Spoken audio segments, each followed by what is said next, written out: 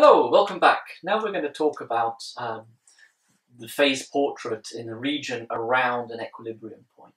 And in particular, we're going to try and reuse some of the linear analysis tools that we've built up in previous control courses to try to understand the behavior in the region of that equilibrium point. Um, so just a brief recap, uh, what is an equilibrium point? Um, an equilibrium equilibrium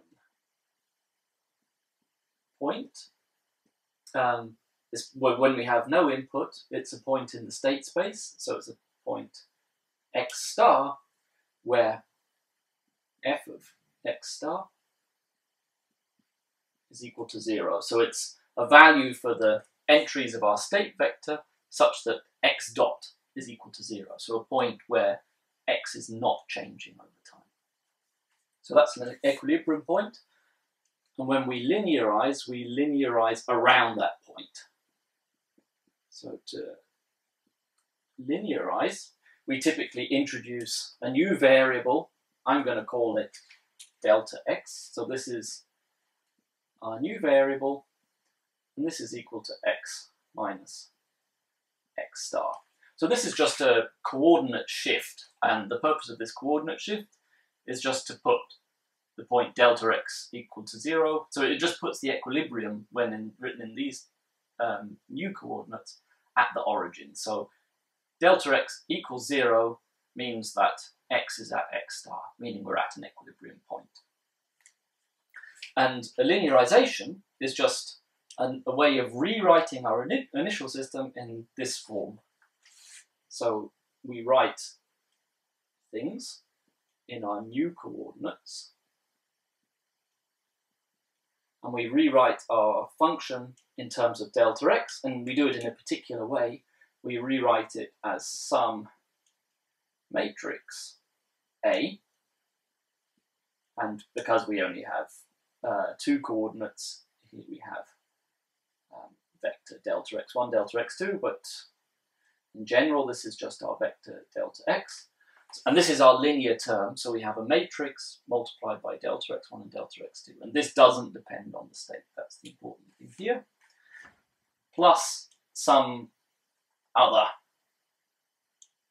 term which depends on everything that's not linear. Um, so this is also a function of delta x, uh, but it has the special technical condition, and we'll explain this in a little bit, that um, h of delta x when divided by the length of the vector delta x. So here we've got delta x1 squared plus delta x2 squared. So this is just the length of the vector delta x in higher dimensions. You just put more squared terms in here. And our function h has to have the property that um, this goes to x goes to zero.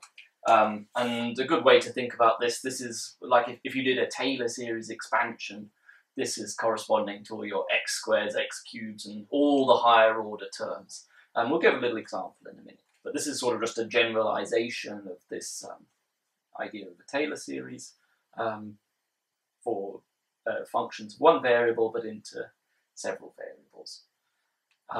And the purpose of doing all of this is that as long as, so as long as the eigenvalues of A have real part not equal to zero, and we'll come on to why this is needed a bit later. Maybe it's fun to start trying to think for yourself why we might need a condition like this. Um, so as long as this is true, then at least for short, short periods of time into the future, d by dt of delta x will be approximately equal to a times delta x1 delta x2. And this approximately here um, it has a precise meaning in terms of this limit that um, we've written down here, but the details aren't really important for this course. Um, but that's all this term is doing. It's just ensuring that as long as delta x is small enough, these terms become much, much smaller compared to these terms, as long as this is true, um, which means that we can approximate our solutions um, through this linear system. And now we can start to use all of our linear system analysis to work out, what happens in a small region around our equilibrium point x star. So there's a lot of kind of notation and definitions here, so let's just put them all in an example, which will probably make things a bit clearer. So let's just take our example from last time where we had some system and we drew its phase portrait and we found that there was an equilibrium point at the point x1 is equal to 1, x2 is equal to 0 and when we drew our phase portrait we found that it was sort of spiraling in. We also found that for values too far away we might tend away So, kind of very crudely our phase portrait looked a little bit like that. And now we're just going to sort of zoom in on this point and try and explain this behavior here, but with our linear systems theory. So let's just put everything in terms of this notation, new notation over here. So um, the system that we studied last time, it had a state space model. We had x1, x2, and then we had d by dt, and this was equal to x1 squared minus 2x1 plus x2 plus 1. And here we had minus x1 minus x2 plus 1, I think. Uh, fine. So we want to investigate the behavior around our equilibrium point, so we need to introduce our new coordinate delta x relative to the point 1, 0. So our equilibrium point is x star is equal to 1, 0. And when we substitute this in here, we get x dot is equal to 0, which is precisely what we need. And so delta x is equal to x minus x star, which here is just 1, 0, or equivalently, x is equal to delta x plus 1, 0, and we'll now just use this equation to eliminate x1 and x2 and rewrite it in terms of our new variable, delta x1, delta x2. So what do we get? Well, d by dt of x dot is equal to d by dt of this, but this is just a constant. So d by dt of x is equal to d by dt of delta x. So d by dt delta x1 to x2. So we've substituted in for x1 and x2 on the left-hand side. Now let's just do the same over here. So what do we get? Well, x1 becomes delta x1 plus 1. So we've got delta x1 plus 1 squared minus 2 delta x1 plus 1 we hit our first x2. Well, x2 is just equal to delta x2 plus 0. So x2 is equal to delta x2. So plus delta x2 plus 1. And how about in here? Well, we have minus delta x1 plus 1 minus delta x2 plus 1. And how does this simplify? Well, we multiply this out, and you'll see we get delta x1 squared. And then we get plus 2 delta x1, but we've got a minus 2 delta x1 uh, there, so they cancel out. And then we get a plus 1, minus 2, plus 1. So there's no constant term, but we keep our plus delta x2 term here. So we just multiplied everything out, and this is what we get.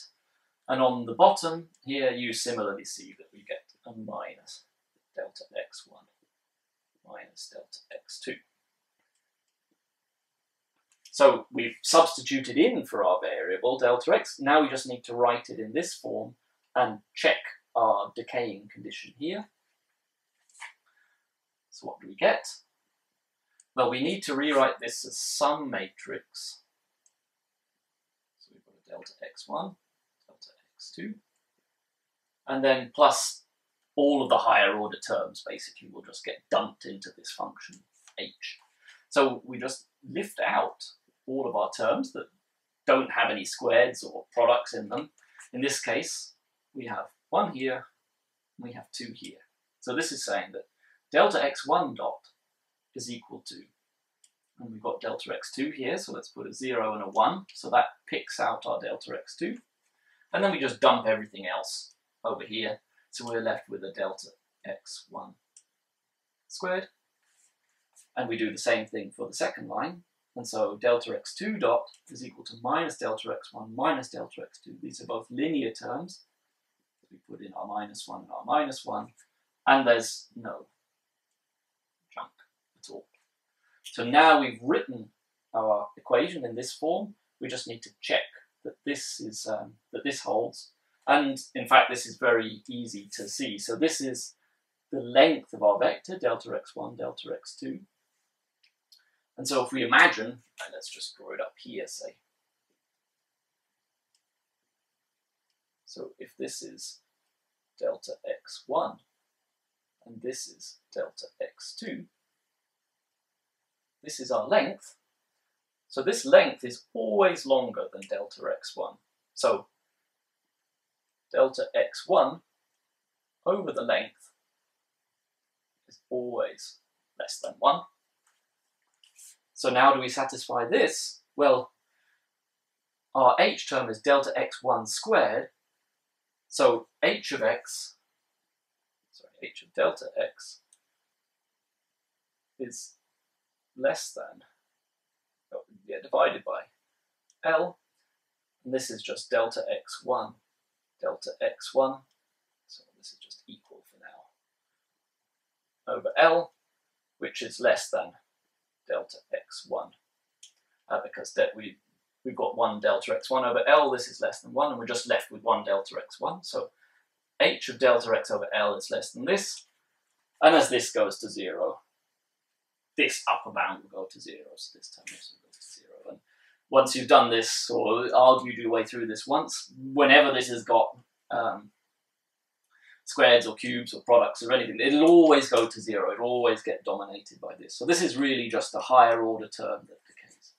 Um, and that's all that we meant here. And what this will allow us to do is we can just look at this term here, um, as long as we check these eigenvalues. And we'll get more onto that in um, uh, the next lecture. I'll just give you another quick method um, for computing this A matrix here. If you don't want to do what I just did, there's another way. Um, you can do it using the Jacobian matrix. And so this was our matrix A. We just got it directly through substitution this way. There's another method in terms of the Jacobian.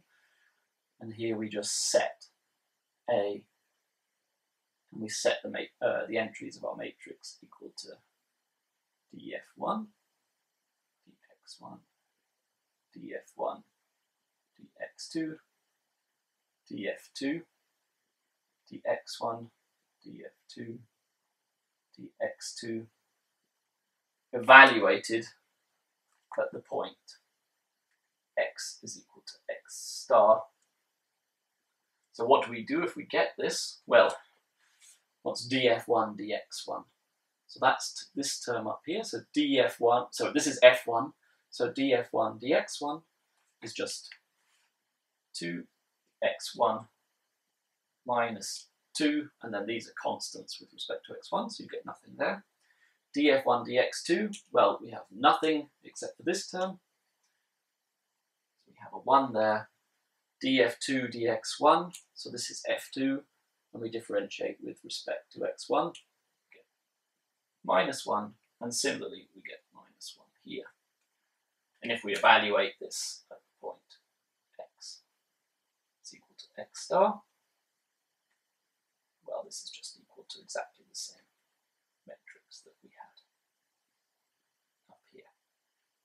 x star is the point, x1 is equal to 1, x2 is equal to 0. So 2 times 1 minus 2 is 0, and nothing else depends on x so these are two ways to arrive at this A matrix, and Subject to these conditions, we can now start to analyze things in terms of the properties of this A matrix. We'll now go and do that in a bit more detail.